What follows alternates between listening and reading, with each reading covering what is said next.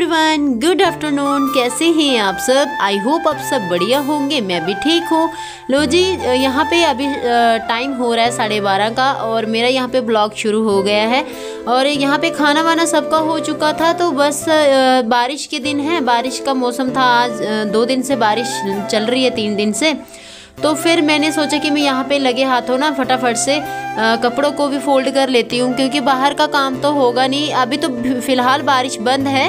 सुबह की लेकिन मौसम जो है ना वो ख़राब है थोड़ा सा तो मैंने सोचा कि क्यों ना मुझे पहले कपड़े ही फोल्ड कर लेने चाहिए। आ, और आ, बीच बीच में धूप भी निकल रही है बीच बीच में बादल भी छा रहे हैं। तो मैंने फिर क्या किया कि कपड़े फोल्ड करके यहाँ पे बेडशीट जो है, वो मैंने साफ़ की और मैंने कल ही पहले दूसरी बेडशीट डाली थी गर्म वाली तो माँ माबिया ने ऊपर टॉयलेट कर दिया, फिर मुझे उसको निकालना पड़ा। रात को ही मैंने यहाँ पे चेंज कर दी थी बेडशीट।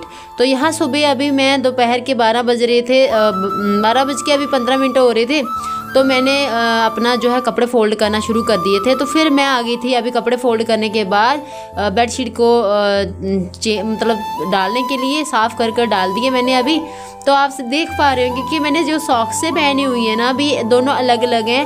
और ये सॉक्सें अलग अलग क्यों पहनी है, इनके साथ का एक एक जोड़ा जो है ना, वो हमारी जो गलहरी होती है ना, चूहा गलहरी, वो दीवार के ऊपर से कल लेके चली गई है। एक एक दोनों की सॉक्स मुझे मिल नहीं रही है तो वो ही लेके गई होगी। तो यहाँ पे देखिए, ताई जी आ गए थे हमारे और ताई जी हमारे लिए लेके आए हैं चूल्हे, दो दो चूल्हे लेके आए हैं। मुझे आप सब बताइएगा कि कौन सा चूल्हा इसमें से सही रहेगा मेरे लिए। तो एक तो बहुत ही बढ़िया है ये जो ब्लैक थोड़ा सा ब्राउन कलर का दिख रहा है और एक जो सिल्वर कलर का है, ये भी चूल्हा ही है। तो दोनों हम शायद रख लें और देखिए ताई जी है हमारे ये तो ये हमारे लिए चूल्हे वहाँ से लेके आए थे। तो यहाँ पे धूप अच्छी खासी निकल गई थी तो यहाँ पे जो भैया है वो बना रहे थे जो फोल्डिंग मंजा होता है ना, वो वाला।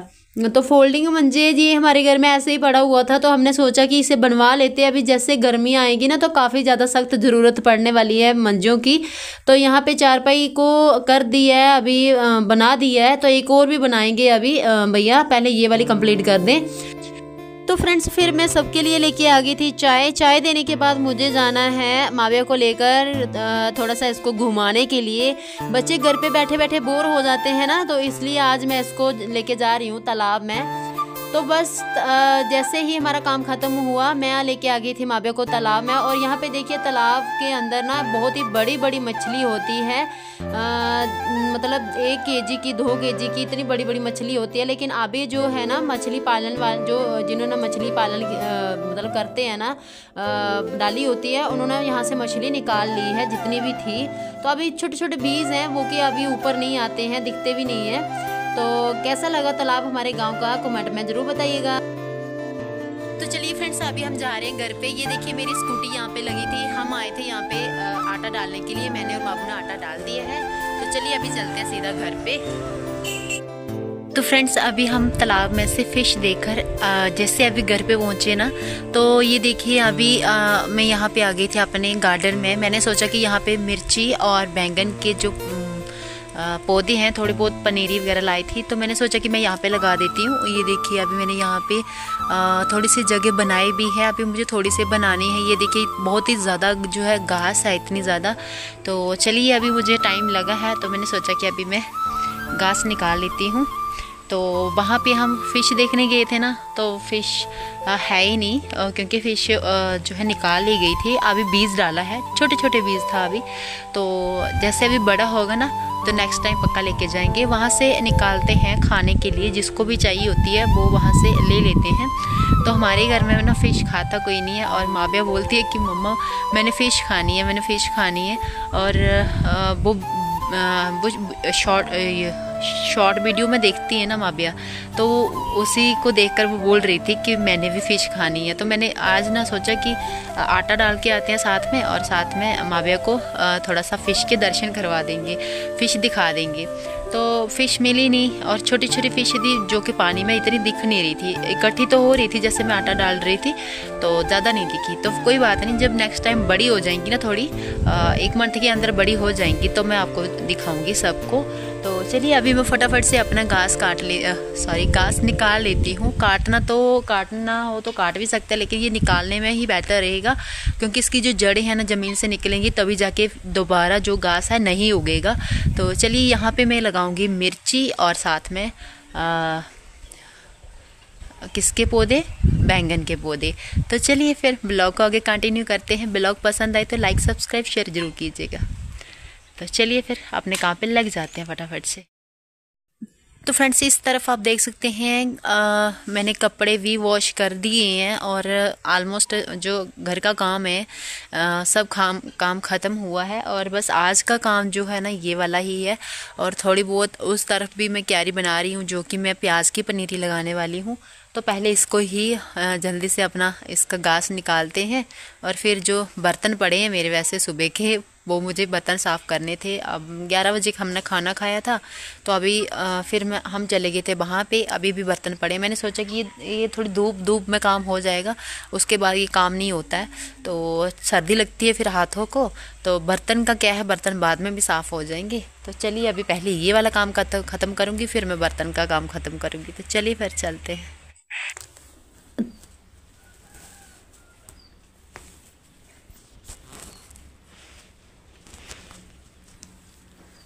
यहाँ पे देखिए, अभी मैंने जो है घास निकालना शुरू कर दिया है और घास इतना ज़्यादा मतलब बहुत ही ज़्यादा घास हो गया। ज़मीन की जड़ें अंदर चली गई हैं, मिट्टी के अंदर इतनी ज़्यादा बिल्कुल जम सी गई है जो घास है और मेरे को निकालने में इतनी दिक्कत हो रही थी।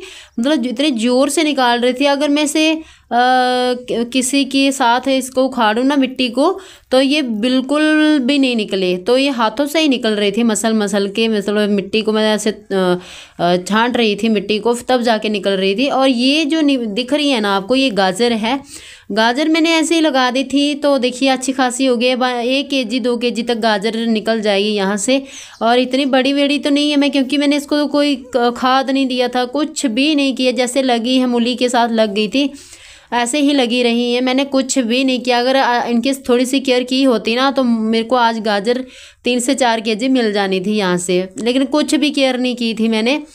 यहाँ पे देखिए, अभी मेरी जगह बन गई थी तो अभी मैं इसे जो जिसके साथ मैं गोबर उठाती हूँ ना, आपने काफ़ी ज़्यादा वीडियो में देखा होगा तो इसके साथ जो फ़सल होती है ना, धान की होगी गेहूँ की होगी तो इस फ़सल, इसको, इसके साथ फ़सल को मतलब ऐसे बिखेरा जाता है। अभी मैंने ये हमारे काम इतना ज़्यादा आता नहीं है, फ़सल को दो है हमारे घर में, और एक ही मैंने देखिए खेतों के लिए भी ले रखा है, खेतों में भी इस इससे अच्छी जो है, मिट्टी को आप जो है छाड़ सकते हैं मोटी मोटी वाली मिट्टी को। मैंने अच्छे से देखिए पूरी क्यारी बना के रेडी कर दी है और मेरे को खाद इसको नहीं दूँगी क्योंकि इसको अभी खाद मैंने नहीं देना है, बाद में दूँगी। तो सबसे पहले मैं लगाऊँगी पौधे जो कि मेरे पास हैं, मिर्ची के पौधे और शिमला मिर्च के पौधे थे थोड़े। तो ये बाज़ार से लाई थी। बाज़ार से आपको पता है कि इतनी ज़्यादा हमें पनीरी अच्छी नहीं मिलती है। फिर भी मैं थोड़ी बहुत लेके आ गई थी कि खुद की भी अभी मैं जो है पनीरी तैयार करूँगी। लेकिन पनीरी जब से, जब तक पनीरी तैयार नहीं होगी ना, तब तक मुझे ये वाले पौधे जो है रेडी करने हैं ताकि खाने के लिए हो जाएँगे। अभी मुझे अपने घर की पनीरी लगानी है मिर्ची की। अभी मैं सभी धीरे धीरे सब काम करूँगी। देखिए कितनी ज़्यादा पीछे जो मेरे घास दिख रही है ना, अभी सब घास उखाड़ूँगी मैं धीरे धीरे करके। और ये मिर्ची के पौधे ना, हस्बैंड जी बोल रहे थे कि रहने तो अभी ये चलेंगे नहीं। तीन दिन हो गया था इनको रखे हुए, टाइम नहीं मिल रहा था फ्रेंड्स की मैं लगा दूँ। तो ऐसे ऐसे पौधे ये अभी लगा दिए ना मैंने मिट्टी में तो अभी ये इनकी अंदर जान आ जाएगी। तो थोड़ा थोड़ा इनको पानी देने की भी ज़रूरत होती है, लेकिन इस बार मैं नहीं दूँगी क्योंकि ये जो मेरी जगह है है ना ये ऑलरेडी गीली है तो ये ऐसे भी जड़े जो है पकड़ लेंगी। तो यहाँ पे हस्बैंड जी आ गए थे मेरे पास और बोल रहे थे कि अभी शॉप पे जाओ आप तो कुछ सामान मंगवाने के लिए बोल रहे थे क्योंकि आ, खुद ही जाते नहीं हैं पास तो नहीं जाते हैं दूर जाने की बात हो तो चले जाते हैं तो फिर पास मैंने सोचा कि क्यों ना मैं आ, मैं अपने देवर जी है मेरे भाई जी उनको मैंने फ़ोन किया और उन्होंने मेरा ये काम समेट दिया और फिर मेरा देखिए मैं रिलैक्स होकर यहाँ पर अच्छे से लगी रही काम करने में और काफ़ी ज़्यादा टाइम लग गया था मुझे एक घंटा तो लग ही गया था यहाँ पे तीन बजने वाले थे अभी तो मतलब मैं एक मिनट भी बैठी नहीं थी मुझे वीडियो एडिट करनी थी लेकिन टाइम नहीं मिल रहा था। तो फ्रेंड्स यहाँ पे देखिए, पौधे वगैरह लग चुके हैं और साथ में मैंने बीच में ही जाकर गजरेला वगैरह बनाया था और सभी ने खा भी लिया है और मैंने वीडियो बनाई हुई थी लेकिन क्लिप मिस हो गई है, पता नहीं, दिख नहीं रही थी तो मुझे ऐड करने में प्रॉब्लम हो गई, थोड़ी नहीं कर पाई। तो फ्रेंड्स आज का ब्लॉग हम यहीं पे एंड करते हैं, मिलते हैं नेक्स्ट ब्लॉग में, तब तक के लिए बाय